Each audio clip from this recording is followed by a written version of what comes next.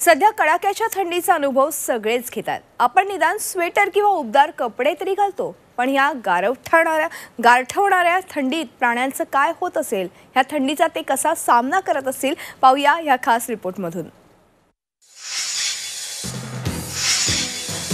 नागपूरच्या महाराज बागेतील हवा सतत इकडून तिकडे अगदी ऐटीत कसा घिरट्या घालतोय. ह्या प्राण्यांना बघायला येणारे अंगात स्वेटर किंवा जॅकेट घालून आलेत. कारण हुडहुडी भरवणारी थंडी सध्या नागपुरात आहे.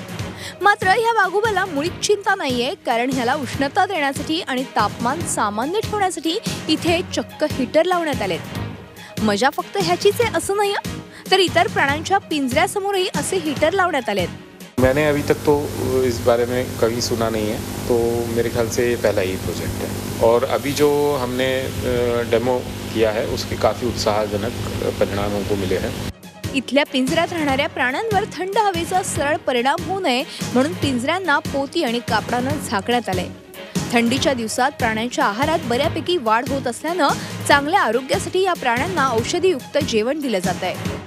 मुझे लगता है कि एक अच्छा प्रयत्न है और इसके माध्यम से हम कुछ अच्छा सुनिश्चित कर पाएंगे शहर महाराज बागेत सध्या दोन वाघ आठ बिबटे एक अस्वल तेरा हरणं तेरा निलगाय आणि सोळा काळवीट आहेत हरिण निलगाय काळवीट ह्यांच्यासाठी झाडांचा पालापाचोळा गोळा करून उबदार बेड तयार करण्यात आलाय.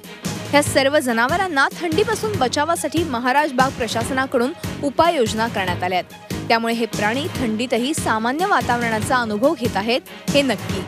Jitendra शिंगाडेसह bureau report Zee media Nagpur.